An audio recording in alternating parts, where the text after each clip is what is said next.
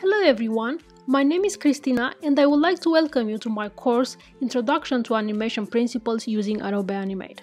In this course, you will learn all about the fundamentals of animation principles applied in 2D using just a ball character.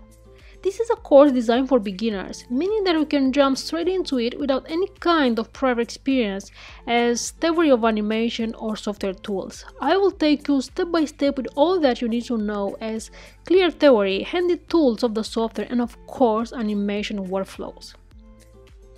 Throughout this course, we'll be doing three animation exercises, all based on a bouncing ball character. However, with every exercise, we'll increase the complexity of the character, the complexity of the software tools, and of course, we're gonna keep on adding more animation principles. Then, each exercise will come with four important things. A detailed planning sheet that will help us to block the animation. A real-time animation workflow based on multiple passes approach.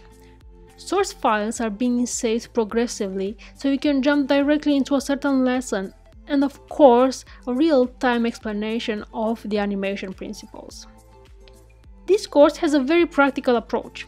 That's why we need to open up the course with a short and effective lecture, an overview of real physics because we need to set up the base of what being alive really means in terms of a believable motion. So we're basically gonna make an analogy between animation principles and physics principles based on cause and effect theory. I've been teaching animation for several years in different universities from Norway and Sweden. I designed lots of courses, hundreds of teaching hours, from a beginner to advanced level. I designed this course to give you strong fundamentals that will inspire you to learn even more. When you learn based on a good foundation, you are also building up your self-confidence and then then you'll be able to control your own creative settings. That's why we'll end up this course with a demonstration how to analyze a live reference and identifying all the key information, how to create your own creative planning sheet or how to critique your own work.